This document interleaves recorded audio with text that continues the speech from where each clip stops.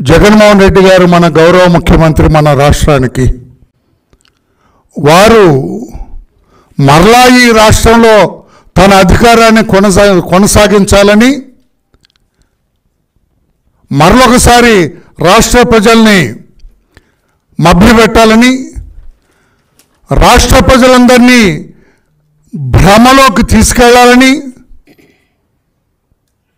Last time ఒక్క chance ఒక్క chance అని ఏ రకంగా భ్రమ పెట్టి మాయ చేసి అబద్ధాలు చెప్పి అసత్యాలు చెప్పి అసాధ్యపు వాగ్దానాలు చేసి అధికారంలోకి వచ్చాడో మరలా అదే పాట పాడాలని రేపు ఆయన తన పార్టీ మేనిఫెస్టో రిలీజ్ చేస్తారట. అందుకే ఈ రోజున Telugu Desam party Janasena party Bharatiya Janata party ఈ పార్టీ కూటమి ఏదైతే ఉందో ఈ రోజున తెలుగుదేశం పార్టీ ప్రధాన కార్యాలయంలో కూర్చొని అయ్యా జగన్మోహన్ రెడ్డి గారు మీ పరిపాలనకు రాష్ట్ర ప్రజలు చరణగీతం పాడటానికి సిద్ధంగా ఉన్నారు. మీరు ఎన్ని మాయ మాటలు చెప్పినా ఎన్ని అసత్యం మాటలు చెప్పినా ఎన్ని అబద్ధాలు చెప్పినా మీ మాట వినే స్థితిలో రాష్ట్ర ప్రజలు లేరు. మీ మేనిఫెస్టో అంతా బూటకం. గతంలో మీరు మేనిఫెస్టో రిలీజ్ చేశారు. తొంభై తొమ్మిది శాతం అమలు చేశారని పెద్ద అబద్ధ జగన్మోహన్ రెడ్డి అంటే ఒక అబద్ధాల కూరండి. అబద్ధం జగన్మోహన్ రెడ్డి పుట్టి తర్వాత అబద్ధం పుట్టింది. అంతటి ఘనపాటి అబద్ధాలు చెప్పటంలో తొంభై తొమ్మిది శాతం నే నా మేనిఫెస్టో అమలు చేశాను. నేను అడుగుతున్నా ఈ రోజున స్ట్రైట్కి వస్తాను. మా కూటమి తరఫున మూడు పార్టీల తరఫున అడుగుతున్నాం. ఎన్డీఏ తరఫున అడుగుతున్నాం. మిస్టర్ జగన్మోహన్ రెడ్డి మద్యపాన నిషేధం చేస్తా. మద్యపాన నిషేధం చేసిన తర్వాతే మహిళల ముందు కానీ రాష్ట్ర ప్రజల ముందుకు కానీ వచ్చి ఓటు అడుగుతా అని చెప్పింది మీరు కాదా? ఐదేళ్ళ క్రితం? మద్యపానం చేశారా మీరు? మద్యపానం చేయకపోగా మీరు అందించిన చౌకపార మద్యానికి వేలాది మంది ప్రాణాలు కోల్పోయినారు. వేలాది మంది తెలుగు మహిళల పుస్తలు తగి మంటల్లో కాలిపోయినాయి. ఆ విషయం మీకు తెలుసు. మరి నైంటీ నైన్ పర్సెంట్ ఎట్లయిందా? పెద్ద అబద్ధం కదా. ఈ రకంగా ఎయిటీ ఫైవ్ పర్సెంట్ ఫెయిల్ అయ్యారు మీరు. అమలు చేయలేదు మేనిఫెస్టో. అటువంటి మీరు సిపిఎస్ రద్దు చేస్తారని మీరు కదా? వారం రోజుల్లో పైగా. ఎన్ని ఎచ్చులు మన వాడుక భాష అండి. ఎన్ని ఎచ్చులు పడ్డాడా ముఖ్యమంత్రి? సిపిఎస్ రద్దు. ఏటా ఐదు లక్షల ఇల్లు కడతా. ఈ రకంగా ఎన్నో అబద్ధం మాటలు మాట్లాడారు. అందుకే అరాచక పాలన అంతం మా కూటమి పంతం. ఈ జగనాసుర రక్త చరిత్ర ఇక ఒక్కరోజు కూడా రాష్ట్రంలో కంటిన్యూ అవటానికి లేదు. ఈ రక్త చరితకు చరమగీతం పాడాలనేది ఈ రోజున ఈ కూటమి లక్ష్యం. పెత్తందారి పాలన అదొక విధ్వంసకరం. స్టేట్ టెర్రరిజాన్ని ఎంకరేజ్ చేసిన ఎంకరేజ్ చేసిన ముఖ్యమంత్రి మీరు. టెర్రరిజాన్ని జనరల్గా స్టేట్స్ కంట్రోల్ చేస్తాయి. కానీ జగన్మోహన్ రెడ్డి గారు స్టేట్ టెర్రరిజాన్ని ఎంకరేజ్ చేసిన ఘనాపాటి. ప్రమాదంలో ఈ రోజున ఐదేళ్ళ నుంచి ప్రమాదంలో ఇతని ముఖ్యమంత్రిత్వంలో ప్రజాస్వామ్యం ప్రమాదంలో పడింది. ప్రజాస్వామ్యం ఈ రాష్ట్రంలో దిక్కు లేకుండా పోయింది. రాజ్యాంగం ఎగతాళి చేయబడింది. అందుకే ఈ రోజున కూటమి తరఫున మేము జగన్మోహన్ రెడ్డి గారు రేపు ఆయన మేనిఫెస్టో రిలీజ్ చేస్తాడట. దానికంటే ముందే ఈ రోజున ఎన్డీఏ కూటమి ఛార్జ్ షీట్ రిలీజ్ చేస్తున్నాం my dear friend respected chief minister మీ మీద ఛార్జ్ షీట్ వేస్తున్నాం ఈ రోజున పనికి మాలిన చీఫ్ మినిస్టర్ అబద్ధాల కోరు చీఫ్ మినిస్టర్ ఇతని మాట నమ్మొద్దని చెప్పి ఛార్జ్ షీట్ వేస్తున్నాం. ఆ ఛార్జ్ షీట్ ఈ రోజున కూటమి పెద్దలందరం కూడా ఈ రోజున పెద్దలు శివశంకర్ గారు. జనసేన పార్టీ ప్రధాన కార్యదర్శి. ఈ పక్కన బీజేపీ రాష్ట్ర ఎన్నికల సమన్వయకర్త సీనియర్ లీడర్ పేరాల శేఖర్రావు గారు ఉన్నారు ఆ పక్కన మా అశోక్ బాబు గారు తెలుగుదేశం పార్టీ కార్యాలయ ప్రధాన కార్యదర్శి. ఈ పక్కన లంకా దినకార్ బీజేపీ పార్టీ నుంచి ఆంధ్రప్రదేశ్ బీజేపీ చీఫ్ అధికార ప్రతినిధి చీఫ్ స్పోక్స్ పర్సన్ ఆ పక్కన మా డాక్టర్ గౌతమ్ ఉన్నారు. పి గౌతమ్ అధికార ప్రతినిధి జనసేన పార్టీ తరఫున. మేము ఆరుగురం కూటమి తరఫున ఈ రాష్ట్ర ముఖ్యమంత్రి అబద్ధాల కోరు అసమర్థ ముఖ్యమంత్రి ప్రజాస్వామ్య వ్యతిరేక పరిపాలన అందించిన ముఖ్యమంత్రి ఈ జగనాసుర రక్త చరిత్ర అనే పేరుతోటి ఈ రోజున అరాచక పాలన అంతం కూటమి పంతం అనే దాంతో మేము ఛార్జ్షీట్ రిలీజ్ చేస్తున్నాం. దయచేసి అందరూ ఒక్కసారి నిలబడి మనం ఛార్జ్షీట్ రాష్ట్ర ప్రజలకు చూపిద్దాం. This is the charge sheet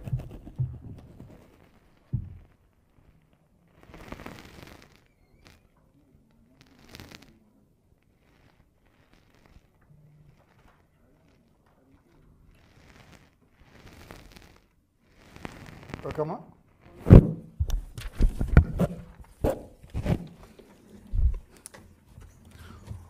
thank you charge sheet ఎందుకు వేస్తున్నావు అంటే రేపు మరలా అమ్మో. కూర్చోండి కూర్చోండి. కూర్చోండి సార్. పదకండి ఏం పెద్ద ఇంపార్టెంట్ ఈ ఛార్జ్ షీట్ ఎందుకు ఈ రోజున మేము రిలీజ్ చేస్తున్నామంటే ఎందుకు ఆయన మీద ఛార్జ్ షీట్ వేస్తున్నామంటే రేపు మళ్ళా మాయలు అబద్ధాలు మూటగట్టి వాటన్నిటిని పేర్చి మేనిఫెస్టోని ముందుకు వస్తున్నాడు అందుకు ఈ రోజున ఛార్జ్షీట్ వేశామని చెప్పి కూటమి తరఫున తెలియజేస్తూ ఇప్పుడు జనసేన పార్టీ ప్రధాన కార్యదర్శి శ్రీ టి శివశంకర్ గారు మాట్లాడతారు.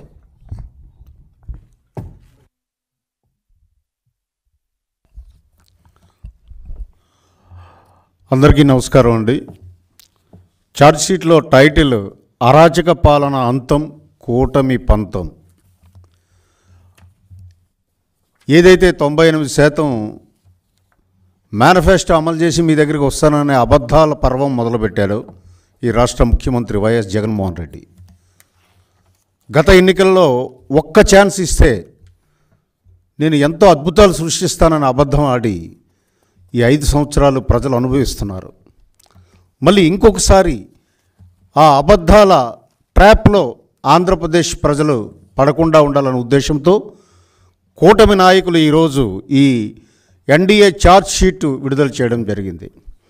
అరాచక పాలన అంటే ఏమిటి అంటే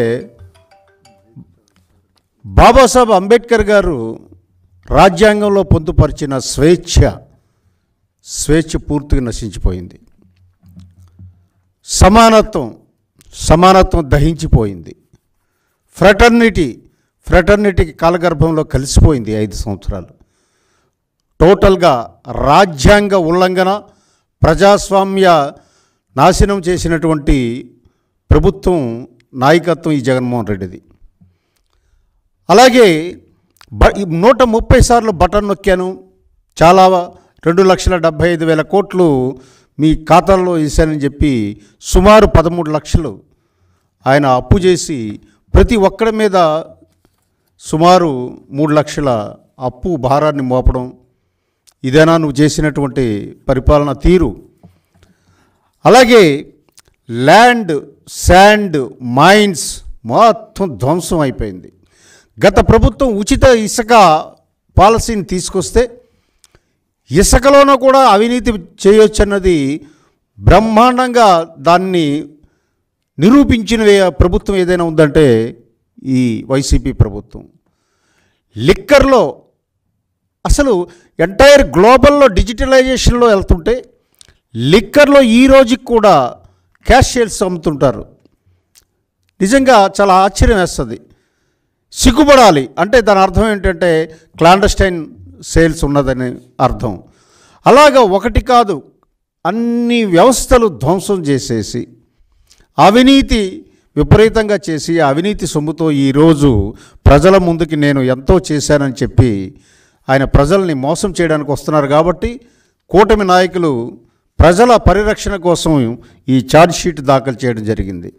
అలాగే విద్యుత్ ఛార్జీలు అయితే ఆశ్చర్యకరంగా ఒక కేస్ స్టడీ మనం తీసుకునేటట్టయితే విద్యుత్ ఛార్జీలు ఎన్ని రకాల ఛార్జీలతో పెంచాడు అని అంటే ఆయనకి ఎనర్జీ ఛార్జెస్ ఎనిమిది వందల ఇరవై నాలుగు రూపాయలే యాక్చువల్ కరెంట్ కన్జంప్షన్ చేసింది.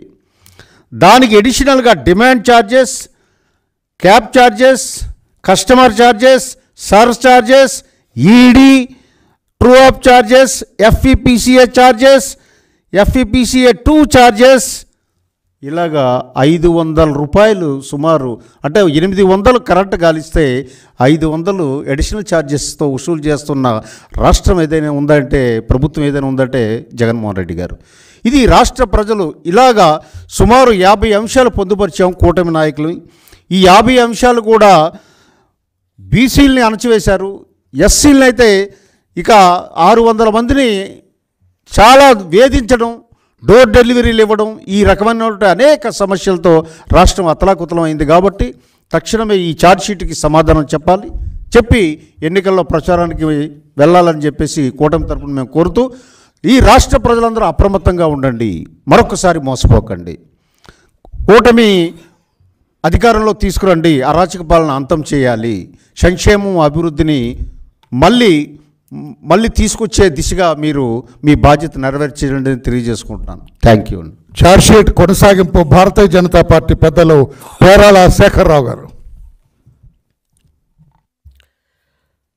గత ఐదు సంవత్సరాల వైఎస్ఆర్సిపి జగన్మోహన్ రెడ్డి ప్రభుత్వం అవినీతి అసమర్థత దుష్పర పాలనకు ప్రతిబింబంగా సాగిందనేది చరిత్ర చెప్తున్నది.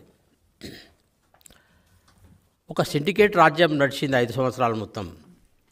ప్రతి రంగంలో ప్రతి అంశంలో అందరిని ఒక దగ్గర కూర్చునబెట్టి దబాయించి బెదిరించి అధికార దుర్వినియోగం చేసి పోలీసు పవర్ను ఉపయోగించి మొత్తం సిండికేట్ రాజ్యంగా మార్చి లక్షల కోట్ల అవినీతికి జగన్మోహన్ రెడ్డి ప్రభుత్వం తెరదీసింది లక్షల కోట్ల ప్రభుత్వ పైసల్ని కూడబెట్టింది. ఇది నిజం అనేది ఈరోజు ఆంధ్రప్రదేశ్ ప్రజలంతా నమ్ముతున్న విషయం.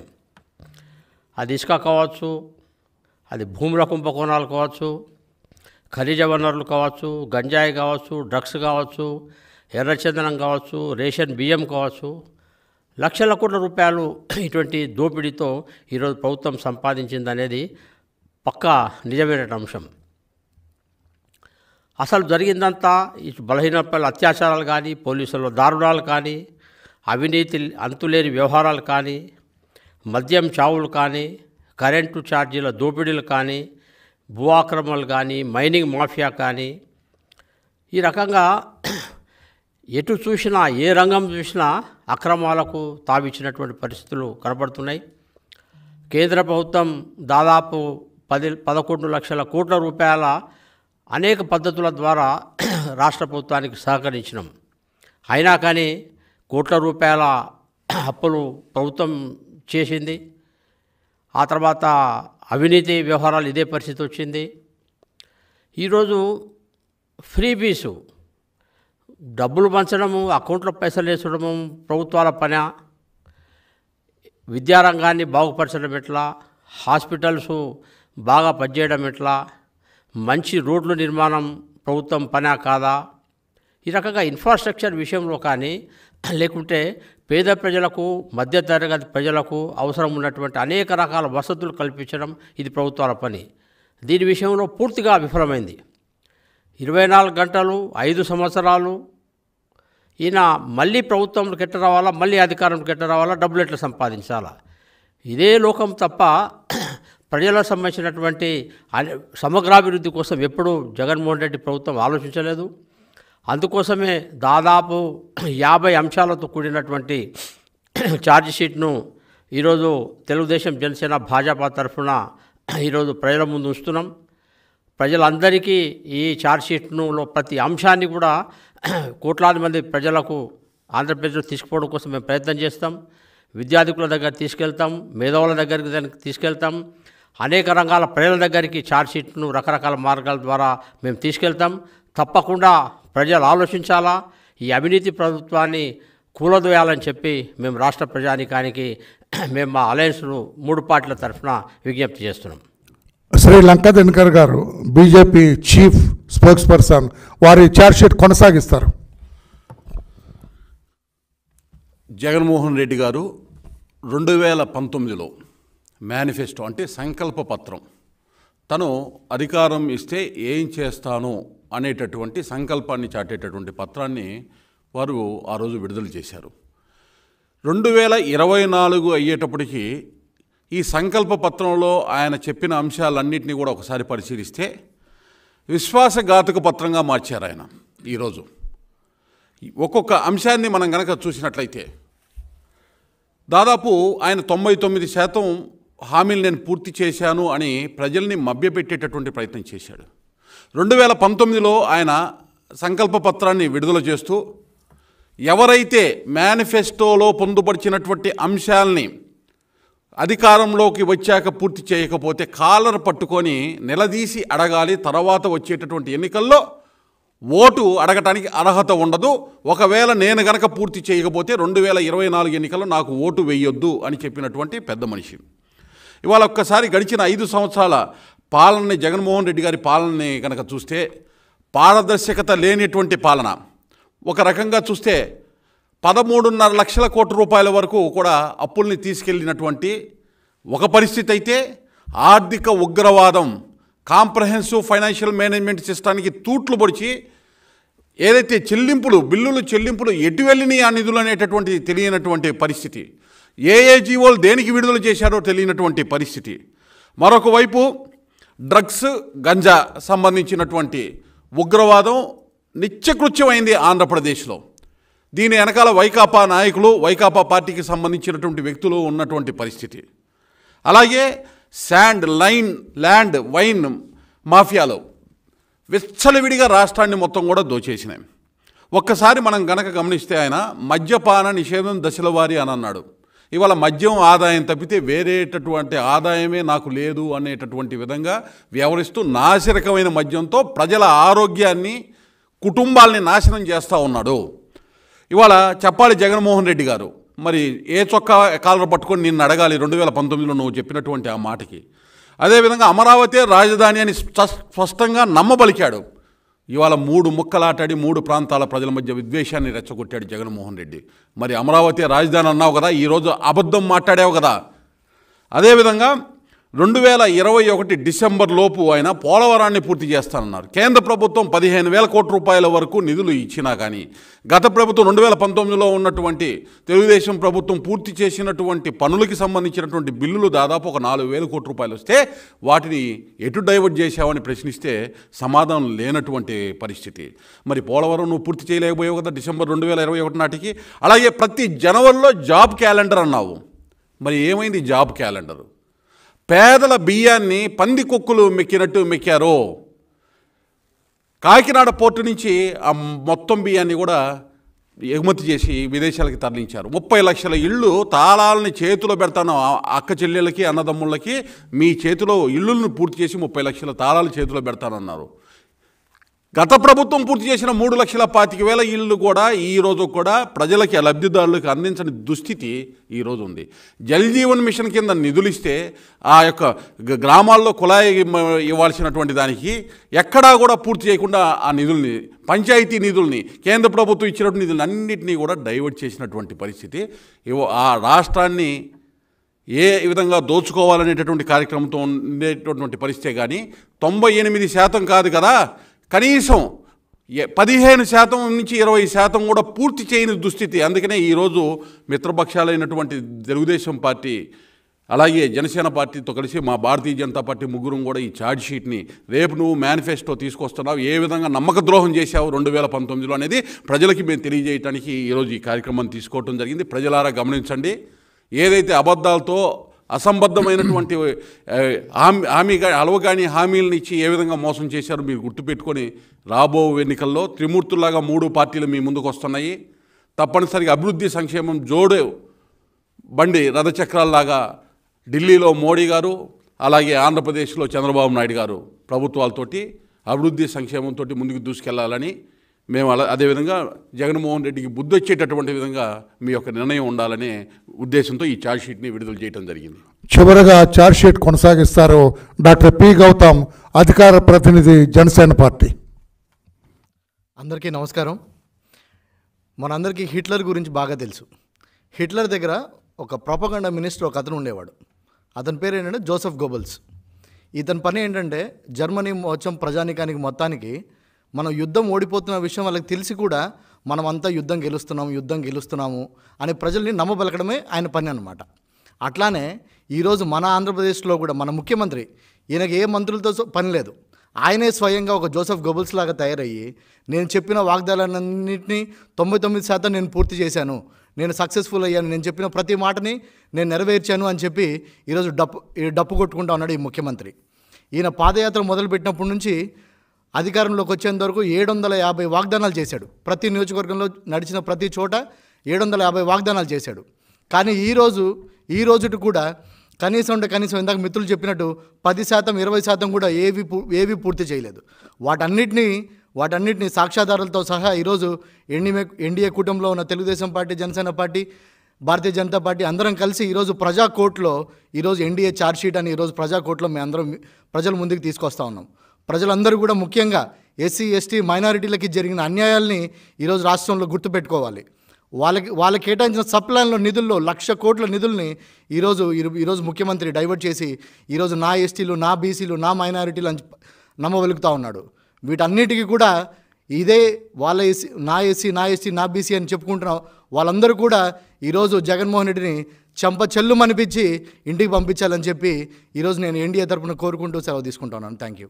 చివరగా జగన్మోహన్ రెడ్డి గారి ఐదేళ్ళ ఐదేళ్ళ పరిపాలన ఒక రాక్షస పరిపాలన ఒక ఫ్యాక్షనిస్టు పరిపాలన స్ఫోటకు తెచ్చిన పరిపాలన. ఏ వర్గం ప్రజలు కూడా ఆయన పాలనలో సంతోషంగా లేరు. ముఖ్యంగా దళిత వర్గాలు. పైన తన ఇనుపు పాదాన్ని మోపి వేలాది మంది ప్రాణాలు బలికొన్న నరరూప రాక్షసుడు లాంటి వారు జగన్మోహన్ రెడ్డి గారు. అందుకనే దళిత వర్గాలకు విజ్ఞప్తి చేస్తున్న ఈయన ఒక దళిత వ్యతిరేకి దళిత ద్రోహి. బీసీ వర్గాలకు విజ్ఞప్తి చేస్తున్న బీసీలంటే ఇతనికి పడదు. బీసీలు తెలుగుదేశం పార్టీ వైపు ఉన్నారని మాయ చేయడానికి ప్రయత్నం చేస్తున్నారు బీసీల సోదరులారా. తస్మాత్ జాగ్రత్త అని విజ్ఞప్తి చేస్తూ ఉన్నా. మైనార్టీ సోదరుల్ని మభ్యపెడుతున్నారు.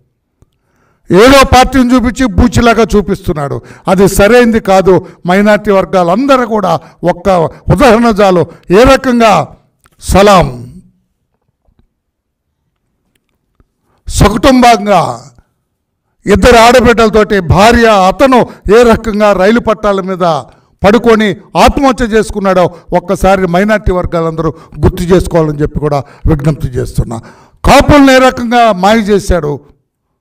బురిడి చేశాడు ఇతను గుర్తు చేసుకోవాలి. మహిళల పట్ల ఎన్ని దాడులు జరుగుతున్నాయి ఎన్ని అరాచకాలు జరుగుతున్నాయో ఒక్కసారి మహిళలు గుర్తుంచుకోవాలా. వ్యాపారస్తులందరికీ విజ్ఞప్తి చేస్తున్నా మీ వ్యాపారాన్ని సగానికి సగం పడిపోవటానికి కారణం ఈ జగన్మోహన్ రెడ్డి. అందుకే అన్ని వర్గాలను కూడా హింసకు గురి చేసి అన్ని వర్గాల్ని హింసించిన ఒక నరకాసురుడు లాంటి వ్యక్తి జగన్మోహన్ రెడ్డి గారు. రేపు మరల ఎందుకు ఇంత హడావుడిగా మేము ఛార్జ్ షీట్ వేశామంటే రేపు మరలా మాయ మా మాయల మూట కట్టుకొని వస్తున్నాడు. మేనిఫెస్టో రూపంలో మరలా మాయ చేయటానికి వస్తున్నాడు. అతని మాటలు నమ్మొద్దు అని చెప్పి తెలియజేయటం కోసం ఈ ఛార్జ్షీట్ చాలా ఒక పుస్తకం రూపేణ ఈ ఛార్జ్షీట్ వేయటం జరిగింది. ఈ ఛార్జ్షీట్ని ప్రతి ఇంటికి రాష్ట్రంలో ప్రతి ఇంటికి పంపిస్తాం. దయచేసి మీరు ఈ ఛార్జ్షీట్ చదవండి. జగన్మోహన్ రెడ్డి గారి మాయల భ్రమ నుంచి బయటపడండి అని చెప్పి కూడా విజ్ఞప్తి చేస్తున్నాను ఒకసారి బుక్ చూపిద్దాం అందరికి. అన్న. ఒకసారి బుక్ ఒక్కసారి అక్కడ కూర్చొని. ఇది దిస్ ఈజ్ ది బుక్ ఇంటింటికి వస్తుంది. దయచేసి అందరూ ఈ పుస్తకాన్ని చదవాలి. జగన్మోహన్ రెడ్డి గారి అరాచ పరిపాలనకు స్వస్తి పలకాలి.